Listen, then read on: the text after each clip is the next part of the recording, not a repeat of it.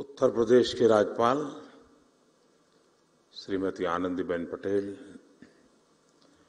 यहाँ के लोकप्रिय मुख्यमंत्री योगी आदित्यनाथ जी, मंत्रिमंडल के मेरे सहयोगी धर्मेंद्र प्रधान जी, राष्ट्रीय शिक्षा नीति की ड्राफ्टिंग कमेटी के चेयरमैन के कस्तूरीरंगन जी सरकार के अन्य मंत्रीगण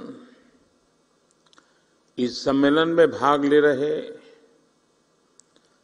सभी वाइस चांसलर्स, शिक्षा संस्थाओं के निर्देशक, सभी शिक्षकगण, शिक्षाविद, देवी और सज्जनों, अखिल भारतीय शिक्षा समागम का यह आयोजन उस पवित्र धरती पर हो रहा है, जहाँ आज़ादी से पहले देश की इतनी महत्वपूर्ण यूनिवर्सिटी की स्थापना हुई थी। ये समागम आज एक ऐसे समय हो रहा है, जब देश अपनी आज़ादी का अमृत महोत्सव मना रहा है। अमृत काल में देश के अमृत संकल्पों को पूरा करने की बड़ी ज़िम्मेदारी हमारी शिक्षा व्यवस्था पर है, हमारी युवा पीढ़ी पर है। हमारे यहाँ उपनिषदों में भी कहा गया है, विद्या अमृतम अश्नुते, अर्थात विद्या ही अमरत्व और अमृत तक ले जाती है। काशी को भी मोक्ष की नगरी इसलिए कहते हैं क्योंकि हमारे यहाँ मुक्ति का एकमात्र मार्ग ज्ञान को, विद्या को ही माना गया है। और इसलिए शिक्षा और शोध का, विद्या और बोध का इतना बड़ा मंथन, जब सर्व विद्या के प्रमुख केंद्र काशी में होगा तो इससे निकलने वाला अमृत अवश्य देश को नई दिशा देगा।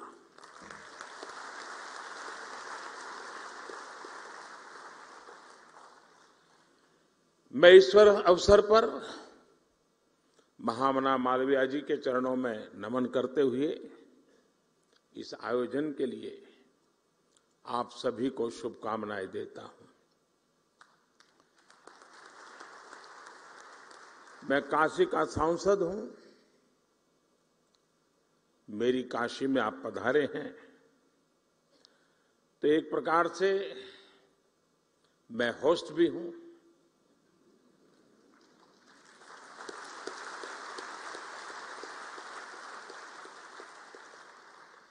आप इन सब के साथ साथ मेरे भी मेहमान हैं।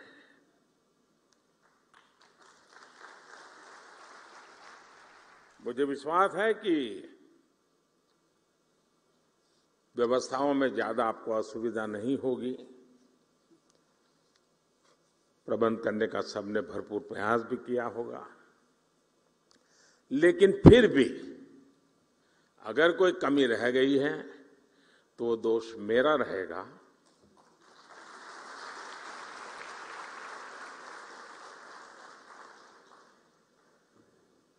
और एक होस्ट के नाते कोई भी आपको असुविधा हो जाए तो उसकी क्षमा मैं पहले से मांग लेता हूँ।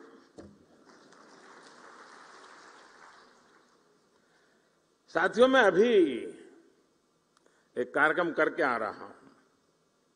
यहाँ मध्यान्ह भोजन के लिए एक सेंट्रलाइज किचन का काम था।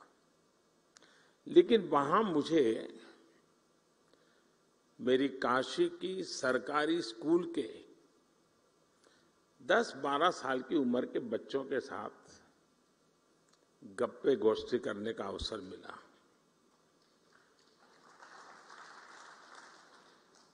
और वहाँ से निकल करके यहाँ आया हूँ।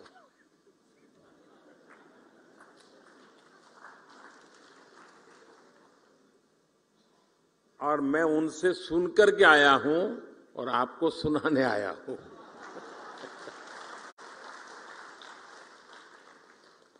और मुझे कहना होगा, और मैं तो चाहूँगा जब मैं अगली बार आऊँगा तो जिस स्कूल के बच्चों से आज मुझे मिलना हुआ है, मैं उनके जो टीचर्स हैं, उनको मिलना चाहूँगा।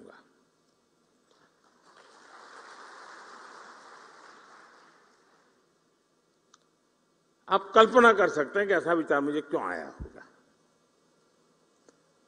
मेरे मन पर इतना प्रभाव पैदा हुआ 10-15 मिनट का ही वो अवसर था मेरे पास, लेकिन जो प्रतिभा उन बच्चों में थी, जो टैलेंट थी, जो कॉन्फिडेंस था, और जो विविधता थी, और वो भी एक सरकारी स्कूल के हमारे सामान्य परिवार के बच्चों की। है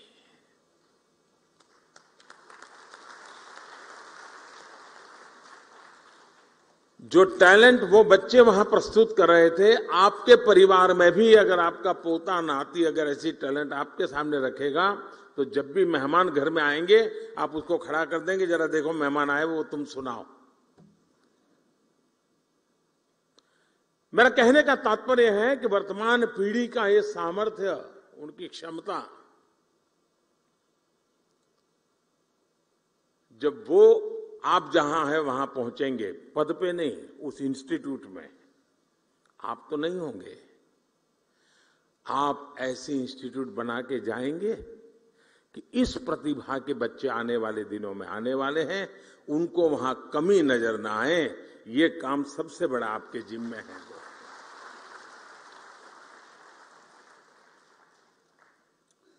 और मुझे विश्वास है कि अगले तीन दिनों तक यहाँ जो चर्चा और विमर्श होगा, उससे राष्ट्रीय शिक्षा नीति के क्रियान्वयन को प्रभावी दिशा मिलेगी।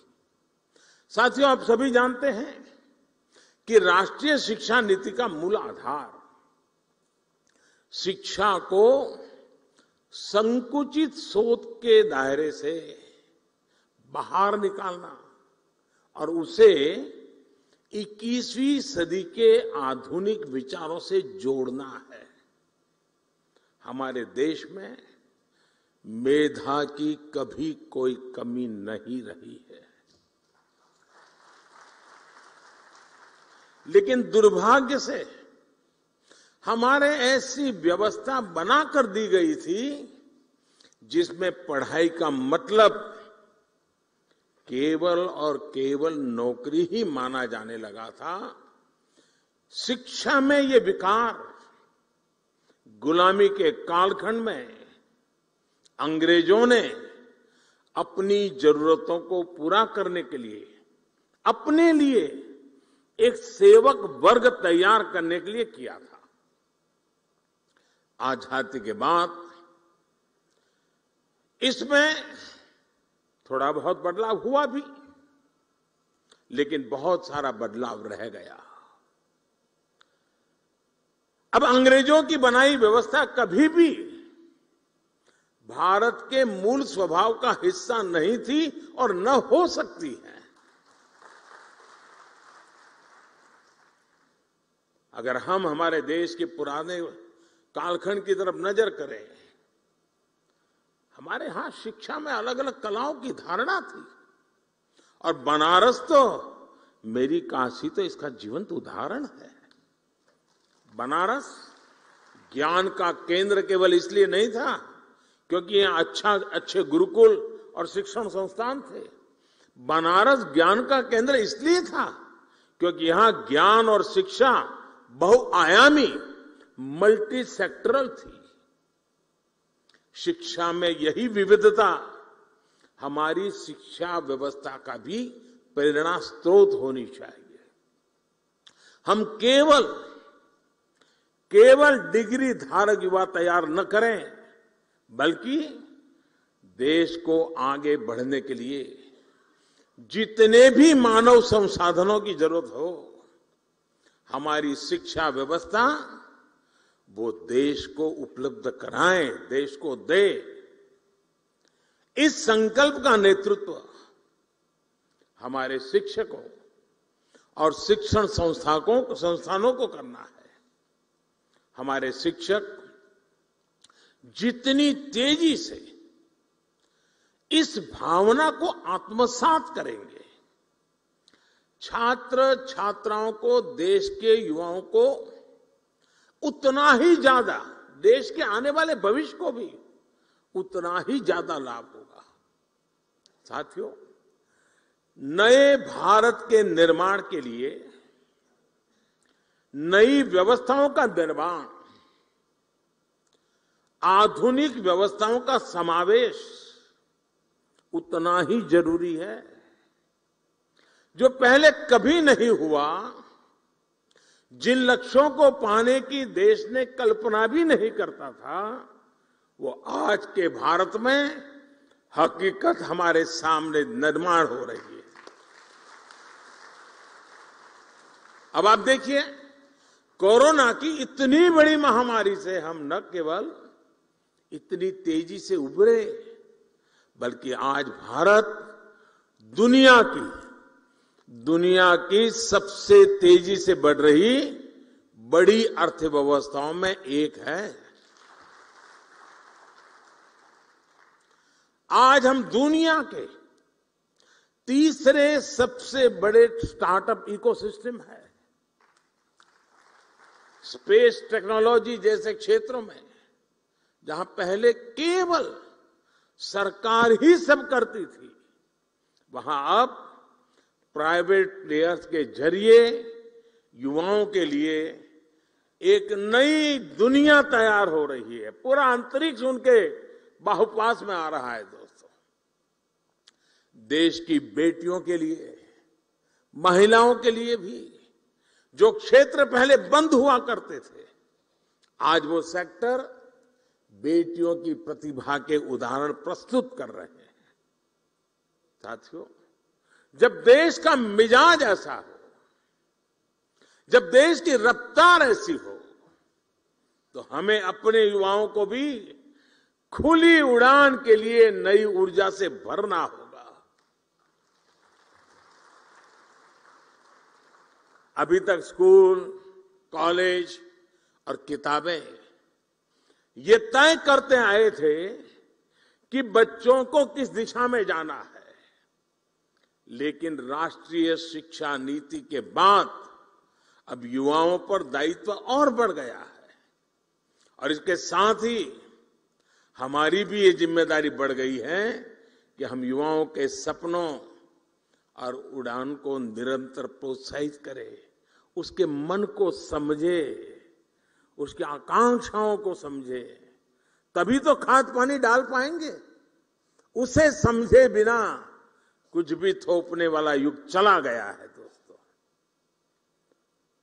हमें इस बात का हमेशा ध्यान रखना होगा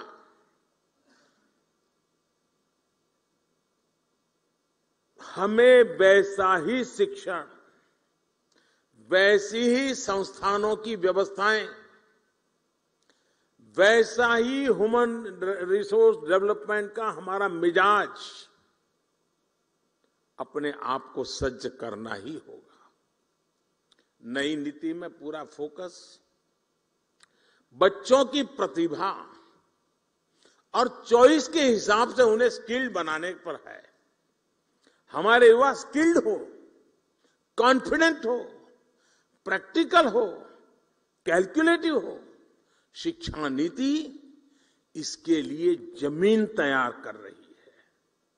साथियों देश में तेज़ी से आ रहे परिवर्तन के बीच शिक्षा व्यवस्था और इससे जुड़े आप सभी महानुभावों की भूमिका कितनी अहम है? इसका एक उदाहरण, मैं अपने गुजरात के मुख्यमंत्री काल के शुरुआत के कालखंड का एक अनुभव बताता हूँ। मैं नया नया मुख्यमंत्री बना था। सरकार वरकार की दुनिया से मेरा कोई नाता ही नहीं था, मैं बहुत दूर था, अचानक काम आया था। तो मैंने एक कार्यक्रम बनाया था। मेरे सभी सचिवों को मैंने कहा कि आप ही आपके डिपार्टमेंट के मुख्यमंत्री हैं। और मुझे बताइए, पाँच साल में आप अपने डिपार्टमेंट को कहाँ ले जाओगे? कैसे ले जाओगे? अचीव क्या करोगे? उससे गुजरात के सामान्य मानवीय के जीवन को क्या लाभ होगा? उसका एक आपका विजन और पूरी डिटेल के साथ प्रेजेंटेशन कीजिए। ये मैंने सभी विभागों के सचिवों को कहा। और हर दिन शाम को पाँच बजे सभी मेरी मंत्रिपरिषद के मंत्री और सभी सचिव हम बैठते थे और एक सचिव आकर के अपने विभाग का पूरा प्रेजेंटेशन देते थे, फिर डिबेट होती थी। सभी सचिव, जो पहले भी कोई एग्रीकल्चर सचिव रहा होगा, वो भी वहाँ बैठा हुआ है। सब लोग अपने अपने विचार रखते थे, डिबेट होती थी, हमारे मंत्री भी डिबेट करते थे। मैं सुनता रहता था, सीखने का प्रयास करता था। एक दिन, और ये कार्यक्रम मेरा करीब महीने भर चला था, और शाम को पाँच बजे शुरू होता था, रात दस बजे तो बड़ी मुश्किल से घर जाने की इजाज़त मिलती थी। और बड़ा ही बड़ा ही इंटेंस वो कार्यक्रम चला। और शायद हिंदुस्तान के इतिहास में पहली बार ऐसा हुआ होगा। तो मेरे यहाँ उद्योग के जगत के संबंधित प्रेजेंटेशन हुआ। आने वाले दिनों में वो औद्योगिक क्या क्या देखते हैं, आने वाले दिनों में औद्योगिक विकास कैसा होगा, सारा बता रहे थे। तो कार्यक्रम पूरा होते ही शिक्षा सचिव मेरे पास आए, क्योंकि दूसरे दिन शिक्षा सचिव का कार्यक्रम था। उसने कहा, साहब, मैं कल नहीं कर पाऊँगा। मैंने कहा, क्या बात करते हो भाई? एक महीने पहले आपको तैयारी करने के लिए कहा और आप लास्ट मोमेंट कह रहे हैं, मैं नहीं कर पाऊँगा। उन्होंने कहा तैयार तो है, मैं कर सकता हूँ, लेकिन आज जो मैंने औद्योगिक विकास का जो प्रेजेंटेशन देखा, उसको देख करके मुझे लगता है कि हमारा उनका कोई मेल ही नहीं है। हम बाएँ जा रहे हैं, वो दाएँ जा रहे हैं। तो मैं इसकी लाइट में, मेरे जो प्रेजेंटेशन है, उसको मॉडिफाई करने के लिए मुझे समय चाहिए। तब जाकर के हम एक इंक्लूसिव ग्रोथ की दिशा में साथ मिलकर के शिक्षा हो इंडस्ट्री चल सकते हैं। हमें भी,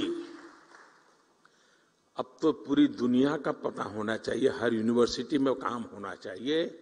कि दुनिया आगे किस तरफ़ जा रही है, कैसे जा रही है, उसमें हमारा देश कहाँ है, उसमें हमारे युवा कहाँ है। आने वाले पंद्रह बीस साल उन बच्चों के हाथ में भारत होने वाला है, उनको मैं कैसे तैयार कर रहा हूँ? यह हमारा बहुत बड़ा दायित्व है दोस्तों। और इसी तर्ज पर हमारे सभी शिक्षण संस्थानों को भी खुद से पूछने की ज़रूरत है कि क्या हम फ्यूचर रेडी हैं? मैं आज दिन बिता रहा हूँ, एग्ज़ाम ले रहा हूँ, कॉन्वोकेशन कर रहा हूँ। क्या यही मेरा, मैं जिस पद पर हूँ, वही काम है? क्या मेरा काम यह है कि मैं ऐसी संस्थान खड़ी करके जाऊँगा कि आज जो बच्चा मेरे स्कूल कॉलेज में आएगा, आज़ादी के जब सौ साल होंगे जब वो बहुत बड़ी महत्वपूर्ण भूमिका निभाता होगा, तब मेरा देश वहाँ पहुंचेगा, मैं वो व्यवस्था आज पैदा करके जाऊँगा। आप सबको वर्तमान को संभालना है, आपके पहले जो करके गए हैं, उसको आगे बढ़ाना है, लेकिन आज जो काम कर रहे हैं, उनको फ्यूचर के लिए ही सोचना होगा और व्यवस्थाएँ फ्यूचर के लिए विकसित करनी होगी। और क्योंकि आज बच्चों की जिज्ञासा ऐसी होती है, जिनके उत्तर अभी मैंने कहा, मैं जिन बच्चों को मिलकर यहाँ आया हूँ, आपको भी घर में पता चलता होगा छोटे छोटे आपके पोते पोती भी आपको सवाल पूछते होंगे, आपके नन्हे मन्ने बेटे होकर सवाल पूछते होंगे, आपको सोचना पड़ता होगा, अरे भाई ये कहाँ सर खा रहा है? वो सर नहीं खा रहा है और का सर उसको जवाब नहीं दे पा रहा है, दोस्तों, वो सामर्थ्य। आपके हर किसी के घर में यह अनुभव आया होगा जी। आज की पीढ़ी जिन बातों को लेकर के आती है, वो तो गूगल पर दस चीज़ें सवाल पूछते बोले, आप क्या कह रहे हो? गूगल तो ये कह रहा है, आपको काउंटर करता है बच्चा। अब ये बच्चे आपकी यूनिवर्सिटी में दस साल के बाद आएँगे, तब क्या हाल होगा आपका? हमें अभी से तैयार करना होगा अपने आप को। आप घर में भी उसके अपने बच्चों के साथ मिसमैच अनुभव कर रहे हैं जब स्कूल कॉलेज के कैंपस के अंदर बहुत बड़ी मात्रा में युवा पीढ़ी होगी, इस प्रकार से नई सोच के साथ आई होगी और हम वहाँ उसके योग्य नहीं होंगे तो उनके साथ कितना बड़ा गहरा अन्याय हो जाएगा दोस्तों। और इसलिए आवश्यक है कि हम भविष्य को जाने, समझे, व्यवस्थाओं को विकसित करें। मैं अभी कुछ दिन पहले डिजिटल इंडिया अभियान के तहत गांधीनगर में एक एग्जीबिशन देखने गया था। वहाँ सरकारी स्कूल के बच्चे थे। बारहवीं, दसवीं या इलेवेंथ के बच्चे थे। वहाँ बच्चों ने जो प्रोजेक्ट तैयार किए थे, जो आइडियाज़ रखे थे, मैं बहुत उसको समझने की, देखने का प्रयास कर रहा था। और मैं प्रभावित हुआ था इन बच्चों के काम से। रिसर्च का ऐसा पोटेंशियल कम उम्र में ऐसे ऐसे इनोवेशन वाली बातें सुनकर मैं दंग रह गया। वहाँ कई बच्चे बायोटेक और जेनेटिक्स में इंटरेस्टेड थे। उनकी क्लास में जब साइंस के फंडामेंटल्स पढ़ाए जा रहे तब वो जीन मैपिंग एफिनेटिव क्रोमोटोग्राफी और जेनेटिक लाइब्रेरी बेस्ड टूल्स की बात कर रहे थे। अब कितना बड़ा अंतर है आप कल्पना करिए। मैं उनके काम को देखकर सोच रहा था कि जब ये हायर एजुकेशन में पहुँचेंगे तो हमारे इंस्टीट्यूशन इनकी आधुनिक सोच के मुताबिक तैयार होंगे क्या? अगर हम इन बच्चों के लिए उनके हायर एजुकेशन में पहुँचने का इंतज़ार करेंगे, तब तक दुनिया बहुत आगे निकल जाएगी दोस्तों। इसलिए हमें ये अभी से सोचना होगा कि जिस उम्र में भी बच्चों के मन में मोटिवेशन है उसी उम्र में उन्हें गाइडेंस और रिसोर्स मिले, इसका प्रबंध हमने सोचना पड़ेगा। हमें अपने संस्थान में ऐसी व्यवस्था तैयार करने पर काम करना चाहिए। साथियों इस महीने के आखिर में 29 जुलाई को राष्ट्रीय शिक्षा नीति को दो साल पूरे होने वाले हैं। और अभी धर्मेंद्र जी बता रहे थे कि बड़े मंथन के बाद ये शिक्षा नीति बनाई। कस्तूर रंगन जी ने बहुत अच्छा नेतृत्व दिया। उसके कारण संभव हुआ। और इतना विविधता भरा देश और राष्ट्रीय शिक्षा नीति का इस प्रकार से स्वागत हो, ये अपने आप में बहुत बड़ी सिद्धि है जी। बहुत बड़ी सिद्धि है। लेकिन इसकी विशेषता देखिए, इसको बनाने में तो मंथन हुआ। आमतौर पर सरकार का स्वभाव होता है, एक डॉक्यूमेंट बन जाता है, वो डॉक्यूमेंट समय के भरोसे छोड़ दिया जाता है, कुछ व्यक्तियों के भरोसे जोड़ जाता है, आपके भी टेबल पे तो कुछ दिन शोभा बढ़ाता है डॉक्यूमेंट, फिर वो भी टेबल पे से हट जाता है, कोई नया डॉक्यूमेंट आता है, वो जगह ले लेता है। बात वही समाप्त हो जाती है अनुभव आपको भी है, यहाँ बैठे हुए लोगों को भी है। हमने ऐसा नहीं होने दिया। हमने हर पल इस राष्ट्रीय शिक्षा नीति को ज़िंदा रखा है। मैं स्वयं भी इतने कम समय में कम से कम 25 सेमिनार में गया हूँ शायद। 25 से ज़्यादा। और इसी विषय पे मैं बोलता रहा हूँ।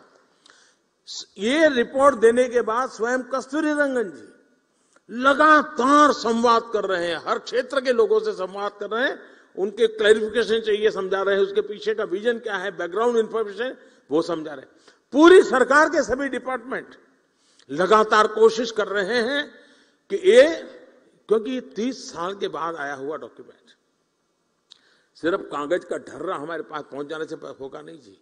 आप भी यहाँ जब तीन दिन मंथन करोगे, उसकी कई बारीकियाँ हैं जो शायद आपने पूरा पन्ना पन्ना पढ़ लिया होगा, लेकिन अब नई तरीके से आपके सामने उजागर होगी।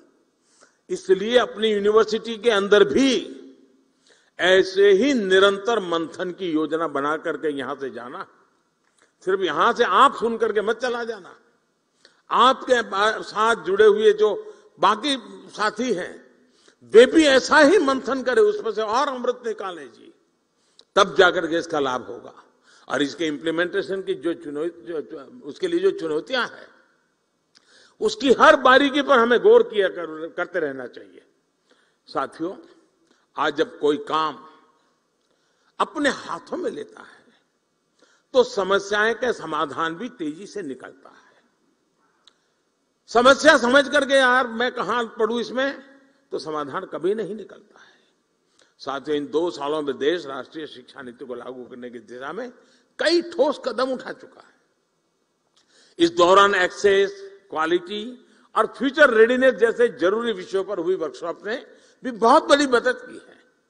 देश विदेश के एकेडमिशियंस इनसे जो चर्चाएँ हुई, मेरा भी देश के शिक्षा मंत्रियों के साथ, शिक्षाविदों के साथ जो संवाद हुआ, उसने भी इसी गति को आगे बढ़ाया है। और अभी कुछ दिन पहले हमारे धर्मेंद्र जी ने देश भर के शिक्षा मंत्रियों को भी बुलाया था। जैसे आपके साथ चर्चा कर रहे उनके साथ भी की थी। लगातार कोशिश हो रही है कि इन चीज़ों को हम शत प्रतिशत साकार कैसे कर पाए। राज्य सरकारों ने भी अपने अपने स्तर पर इस दिशा में कई महत्वपूर्ण कदम उठाए हैं। और आज सभी के प्रयासों का परिणाम है कि देश और खासकर देश का युवा इस बड़े बदलाव में भागीदार बन रहा है। साथियों, नई राष्ट्रीय शिक्षा नीति के लिए देश के एजुकेशन सेक्टर में एक बड़े इंफ्रास्ट्रक्चर ओवरहॉल पर भी काम हुआ है। आज देश में बड़ी संख्या में नए कॉलेज खुल रहे हैं, नए विश्वविद्यालय खुल रहे हैं, नए आईआईटी और नए आईआईएम की स्थापना हो रही है। 2014 के बाद से देश में मेडिकल कॉलेजों की संख्या में 55 प्रतिशत की वृद्धि हुई है। युवाओं को बेहतर अवसर देने के लिए यूनिवर्सिटीज में समान स्टैंडर्ड के लिए इस वर्ष कॉमन यूनिवर्सिटी एंट्रेंस टेस्ट भी लागू किया गया है। ऐसे ही कई और भी रिफॉर्म्स किए गए हैं। देश के इन प्रयासों का परिणाम है कि वर्ल्ड यूनिवर्सिटी रैंकिंग में भारतीय संस्थानों की संख्या में धीरे धीरे प्रवेश हो रहा है संख्या में वृद्धि हो रही है। ये बदलाव केवल शुरुआत है। अभी हमें इस दिशा में लंबी दूरी तय करना है। साथियों, मुझे ये भी संतोष है कि राष्ट्रीय शिक्षा नीति अब मातृभाषा में पढ़ाई के रास्ते खोल रही है।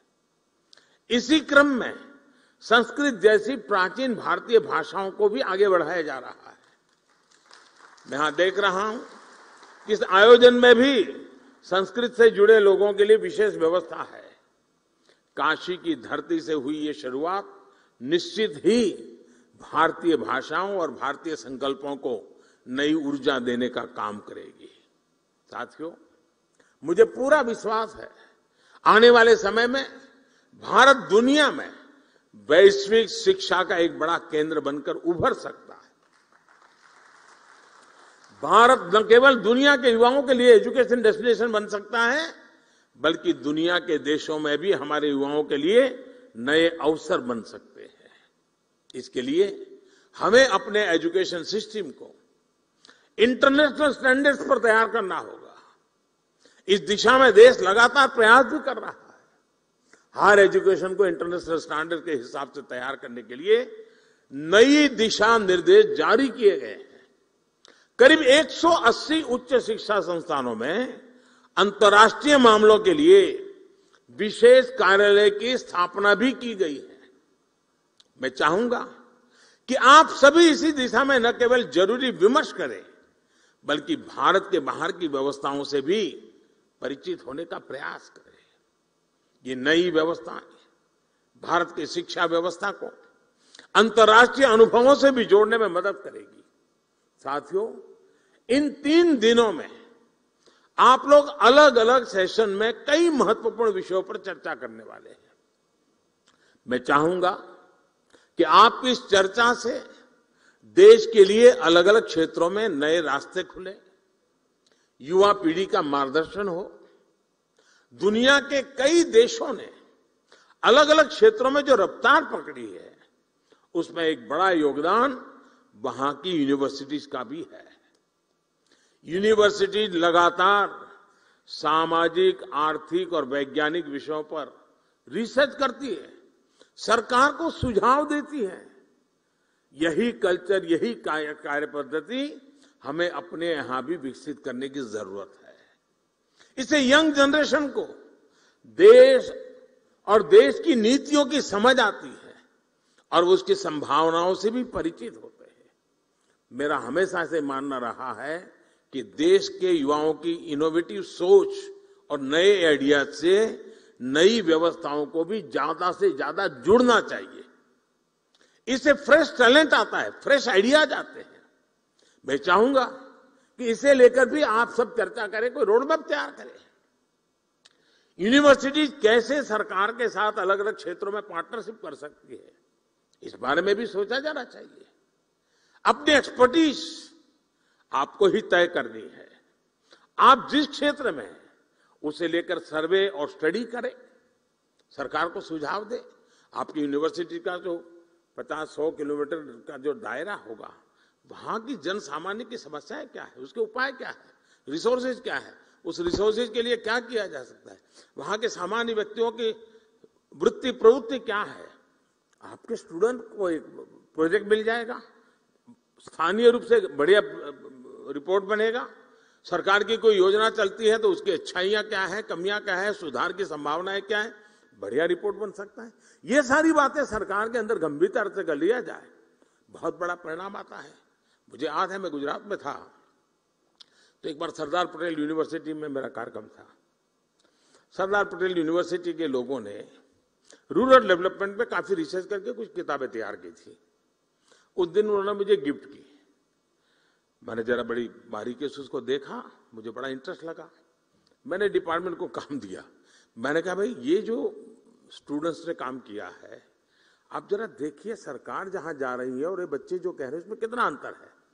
और आप हैरान हो जाएँगे, उसमें से बहुत सी चीज़ें मुझे रूरल डेवलपमेंट के मेरे काम में इतनी मदद आई। विद्यार्थियों ने टीचर्स ने किया हुआ काम था। जो सरकार में एयर कंडीशन कमरे में बैठ करके निर्णय करना मुश्किल होता है जी।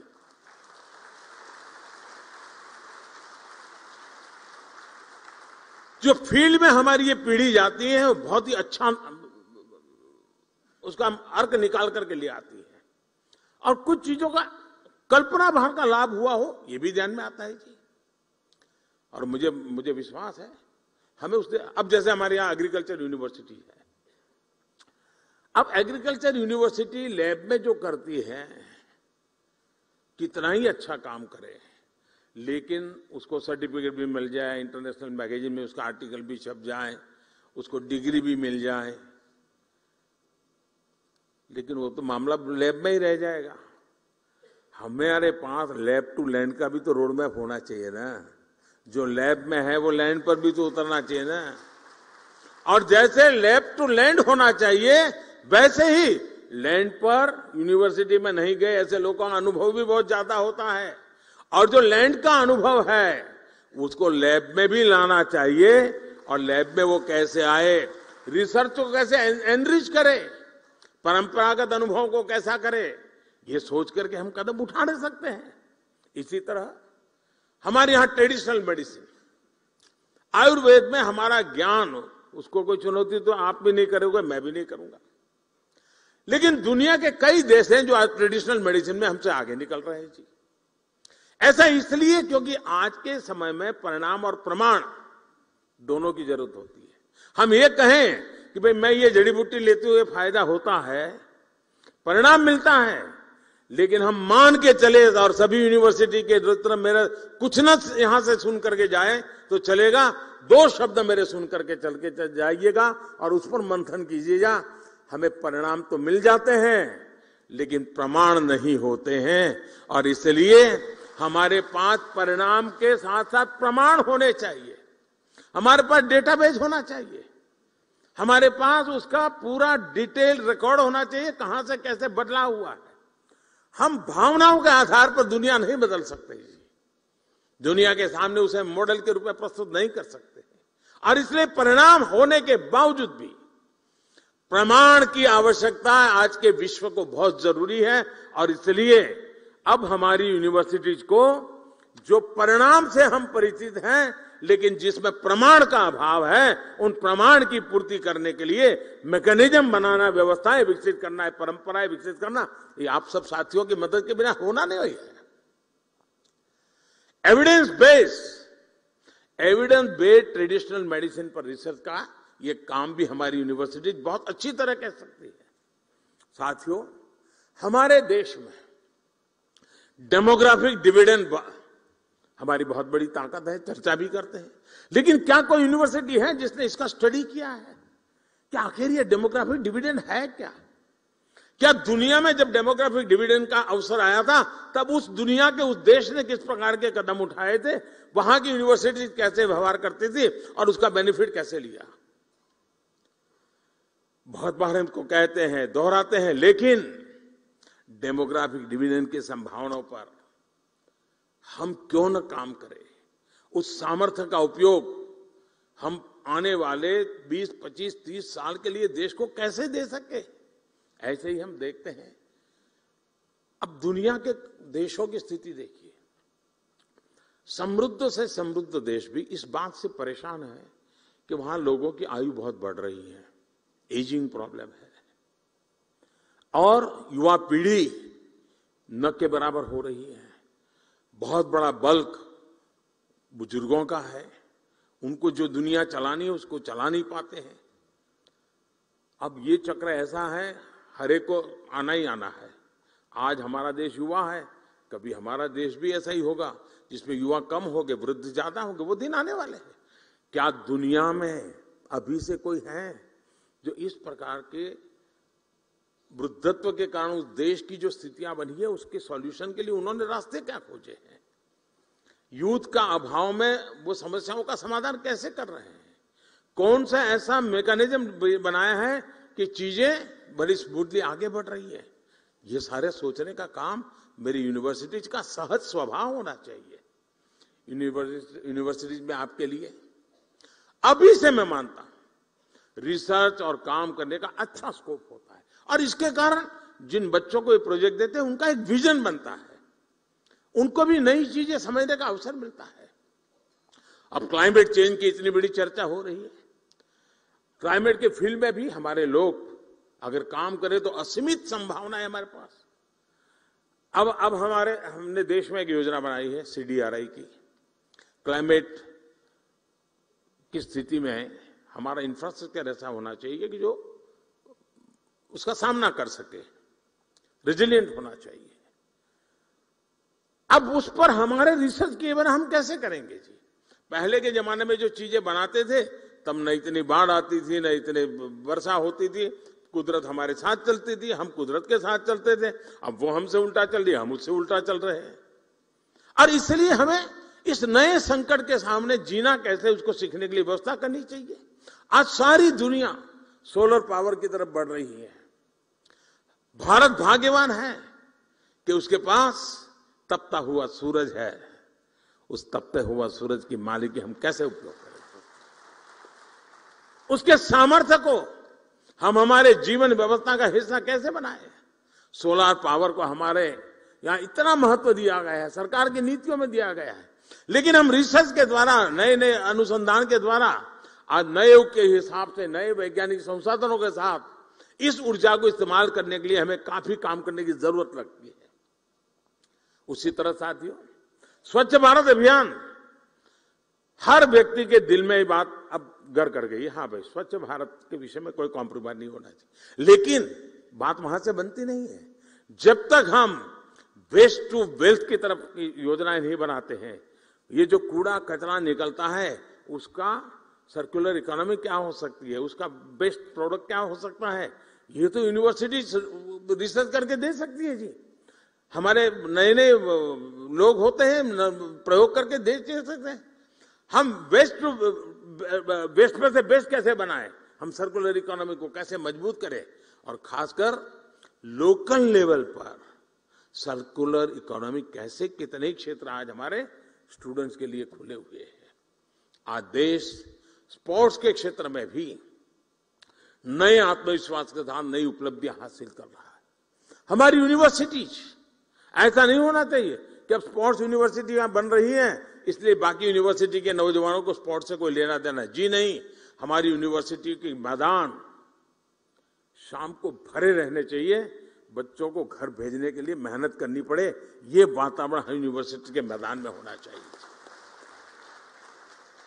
हमारी यूनिवर्सिटी ये लक्ष्य बना सकती है। एक एक यूनिवर्सिटी तय कर सकती है कि आने वाले वर्षों में मेरी यूनिवर्सिटी कितने गोल्ड मेडल ले आएगी मेरे स्कूल के कितने विद्यार्थी मेरी कॉलेज के कितने विद्यार्थी आगे बढ़ेंगे। ये ये, ये किस यूनिवर्सिटी के टारगेट क्यों नहीं होने चाहिए दोस्तों? दुनिया के कितने देश में मेरे देश के मेरी यूनिवर्सिटी के बच्चे खेलने के लिए जाएँगे? मैं उनको कैसे तैयार करूँ? उनको एक्सपोजर मिलेगा? भी मेरी एक बहुत बड़ी अमानत बन जाएगा। साथियों मैं स्ट्रे विचारों को इसलिए रख रहा हूँ, अनगिनत संभावनाएँ हैं। और राष्ट्रीय शिक्षा नीति ने आपके हाथ में अवसर दिया है, जो पिछले वर्षों में हमारे पास नहीं था। इस राष्ट्रीय शिक्षा नीति का आया है ये हमारा काम है उसको आगे बढ़ाए साथियों, हम सबको याद रखना होगा कि देश के भविष्य निर्माण का राष्ट्रीय शिक्षा नीति का नेतृत्व आप सब साथियों के हाथ में है। मुझे विश्वास है कि अखिल भारतीय शिक्षा समागम में आपके मंथन से निकला अमृत, आपके सुझाव देश को एक नई दिशा देंगे। जिन नौजवानों के साथ आपका समय बीतता है, उनको वर्तमान के लिए नहीं, आने वाले कल के लिए तैयार करना है। अगर आने वाले कल के लिए तैयार करना है तो आपको आने वाले साल के लिए तैयार होना है।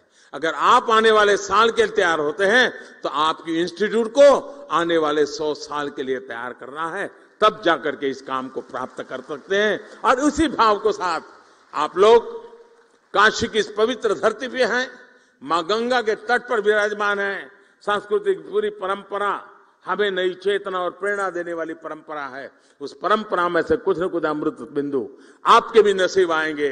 जो अमृत बिंदु लेके जाएँगे, वहाँ जब आप उसको रखोगे, वो यूनिवर्सिटी भी आने वाले अमृत काल में भारत के उज्जवल भविष्य को घड़ने के लिए काम आएगी। मैं फिर एक बार विभाग का इस कार्यक्रम की रचना के लिए धन्यवाद करता हूँ।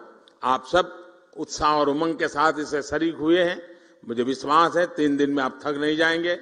मैं बैठे बैठे कार्यक्रम देख रहा था। मुझे लग रहा है, पता नहीं आपका क्या होगा तीन दिन के बाद। लेकिन आप एकेडमिक वर्ल्ड के हैं तो ज़रूर उसको आगे बढ़ाएँगे। मेरी आपको बहुत बहुत शुभकामनाएँ बहुत बहुत धन्यवाद।